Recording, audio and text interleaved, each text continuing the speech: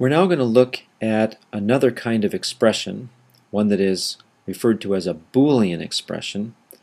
We've already seen what are called arithmetic expressions. Those are expressions that are made up of operators and operands, where the operands are numeric data, like integers and floating point numbers, and the operators are things like addition and subtraction and multiplication, and when we evaluate those expressions, we get numeric results. In the case of the Boolean expression, the idea is that when we evaluate those, we're going to end up with a value from a data type that is called bool. Now, what is the data type bool? Well, just like we have int and float, the data type bool is a representation of what are known as the truth values. However, there are only two. The truth values are true and false. And so the data type bool is a fairly small data type. The value true which is spelled with a capital T, and the value false, which is spelled with a capital F, are the only two items. And notice, just like the integer 34 and the value of 56.78 from the floating point numbers, the values true and false evaluate to themselves. They are the literal values within the data type bool. So one of the things that we can do with Boolean values, just like we could do uh, with integers and floating point numbers, is we could use them in assignment statements. And so, for example, with integers, I can say total is a reference to the int 0, and when I evaluate that in the Python shell, what I get back is the data object that total refers to. I can do the same thing with the booleans. So I can say, for example, let's let the variable stop be a reference to the value false.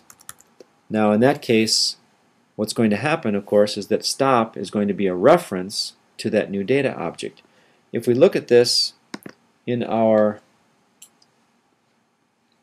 reference diagram style, what we've just done is to create a new variable and let that variable refer to a data object that has the value false. And as we know, when you have a name for a piece of data and you evaluate that name, so for example stop now back in the Python shell, what we get back is the value that stop refers to. And so because stop refers to the data object false, when we evaluate stop, we see the value false show up as the result in the Python interpreter. Now, the most common use for these Boolean values is to be the result of these expressions called Boolean expressions. And the easiest way to create a Boolean expression, other than just having a variable that evaluates to true or false, is to use what's called the relationship operators. And the relationship operators are things that you've seen before. Things like less than, greater than, less than or equal to, greater than or equal to, and then we have equal to and not equal to. So the equal to and not equal to are symbols that use the equality symbol. There are no spaces, but of course we can't use the single equality symbol for equals because we already use that for assignment. So, for example, if I go back to the Python shell and just create a very simple relational expression, I could say for less than 5 and when I evaluate that it returns true. And if I were to say total equal to 0 it also returns true because total is currently a variable whose value is 0 if I said total not equal to 0 then that would evaluate to false because total happens to be 0 so this type of Boolean expression, this type of relationship expression, when evaluated, will give me back either a true or a false. Now the other way that I can create a Boolean expression is to use what I referred to as the logic operators. And the logic operators are AND, OR, NOT. Those three operators actually work on the Boolean values and return true and false depending upon the combination. And so the easiest way to look at this is just to think about what these three operators might do. So the AND operator works on trues and falses, and it returns a true only if the two operands that it's working on happen to both be true. So for example, using the literal values, if I said true and true, the result would be true. But if I said true and false, the result is false because both have to be true for the result to be true. Now, the more common thing to do, of course, is to use more complicated expressions as part of those logical expressions, as part of those um, operands for the AND operator. So we could do something like this. We could say total is currently equal to 0 and 3 is less than 4. And if we look at that, then the two pieces of this expression, total equal to 0, when we evaluate that, well, total is 0, so that's going to be true. 3 less than 4, well, when we evaluate that, 3 is less than 4, so that's true. So both parts are true. True and true, we're going to find the result then is true. And the same thing is going to hold with OR, except in the case of the operator OR, one or the other or both can be true for the result to be true.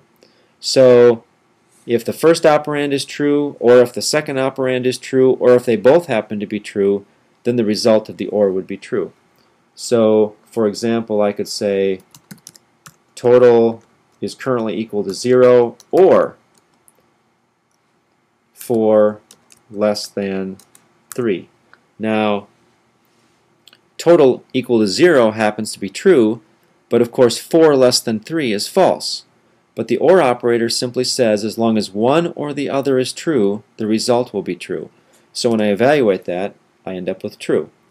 If both were false, so total not equal to 0 or 4 less than 3, because both of these two operands are false, the OR will therefore return false as its result. And the final operator, the NOT operator, is fairly straightforward. The NOT operator simply returns the opposite of its operand. And so it only takes one truth value and it simply creates the opposite return result. So not true returns false and not false will return true. So for example, if I said not total equal to 0, well, what do we know? total equal to 0 returns true, not working on true turns it into false. Now the only other thing that we should think about here is the precedence of these operators. Which operator gets done first, which operator gets done second, and so on. It turns out, and we can kind of see that in this last example, that the relationship operators will always be done before the logical operators. And so in these examples where we had two relationship operators and a logic operator in between, the relationship operators are going to be done first, and then the truth values that appear from those relationship operators are the ones that are ANDed or ORed together. So if you aren't sure, you can always put in parentheses, parenthesis total equal 0 and parenthesis 4 greater than 5. Now we've forced these to be done first. They would have been done first anyway because of precedence, but again, of course, the value is false because even though total equals 0 is true, 4 greater than 5 is false, and for the AND to be true, both would have to be true.